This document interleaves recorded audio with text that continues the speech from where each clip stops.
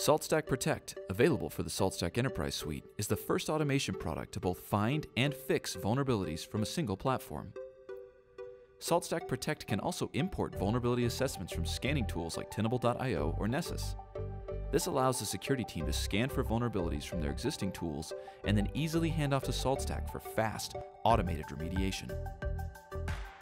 Here's how it works. Let's start by creating a scan in Tenable.io. Choose any credentialed scan template or create your own.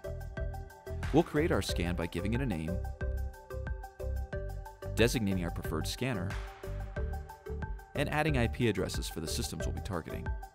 Once we've added credentials for the Tenable scanner we're using, we're ready to save and launch. As soon as the scan finishes, we'll export the results as a .nessus file. Now, create a new group of targets to remediate with SaltStack Protect. All targeted assets should have SaltStack installed. Create a new policy in SaltStack Protect with the target group we just created, and import the .nessus scan result into that policy.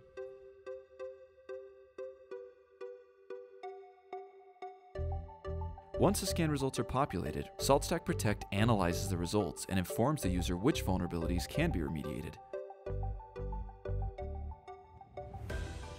Select vulnerabilities to include and perform an import. Now it's time to act. Select imported vulnerabilities and choose Remediate. Once the remediation completes, you can rerun the scan again to verify vulnerabilities have been fixed. Ready to learn more? Visit saltstack.com or contact your SaltStack representative.